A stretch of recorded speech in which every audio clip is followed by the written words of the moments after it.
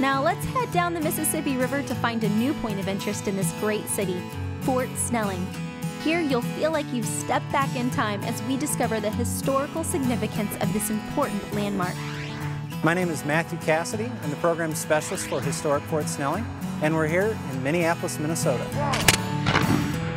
This place, this region has been very important to people for thousands of years. We're at the junction of the Minnesota and the Mississippi rivers. It was during the War of 1812 that the U.S. government realized just how important and useful this region could be. Many crucial battles were being fought in the area, and at the end of the war, the U.S. decided it needed to fortify the region along the Mississippi River. Because the Mississippi cuts through North America, it's the major route to the Gulf of Mexico. The U.S. Army and government realizes this place needs to be secured.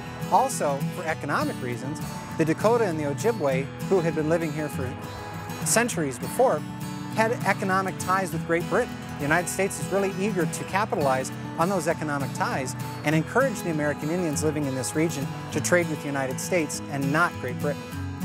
Construction of Fort Snelling began in 1819, and over the next few years it became a foothold of U.S. expansionism in the region that eventually became Minnesota. The fort was originally named Fort St. Anthony because of the St. Anthony Falls just up the river.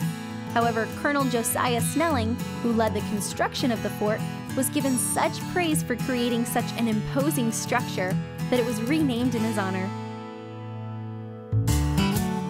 Now, even though this was an impressive fort, you may be surprised to know that there were no battles fought during this fort's entire history. The fort was active between 1819, when the first soldiers arrived here to begin construction on the fort, up to 1946, with the exception of three years between 1858, when Minnesota became a state and the U.S. government felt the fort was not useful anymore, and 1861, which was the year the American Civil War began.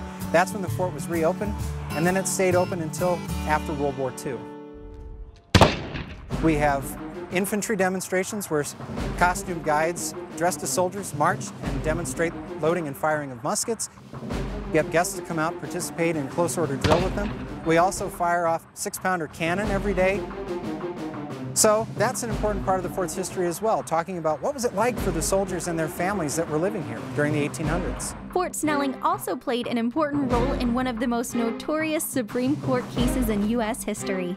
You can also learn about the history of slavery in Minnesota. Most people don't realize that slavery existed in the North, and Minnesota was no exception. Dred Scott and his wife Harriet Two of America's probably most famous enslaved people lived here at Fort Snelling from 1836 to 1840 and used part of their time here at the fort as evidence in their great Supreme Court case to try to fight for their freedom. That landmark case was Dred Scott versus Sandford, also known as the Dred Scott decision, and it resulted in the Supreme Court determining that people of African descent brought into the U.S. and held as slaves were not protected by the Constitution and were not U.S. citizens. Thankfully, the U.S. government righted that wrong with the passing of the 14th Amendment, which overruled that decision. If you love history, then Fort Snelling is really a place you need to go because so much of American history from the 19th century connects here. Everything from expansionism and imperialism, U.S. government, to U.S. government American Indian relations, to the Civil War, history of slavery in our country. All of these themes really connect right here to Fort Snelling. And it's a really important place, not just to Minnesota, but to the United States as a whole.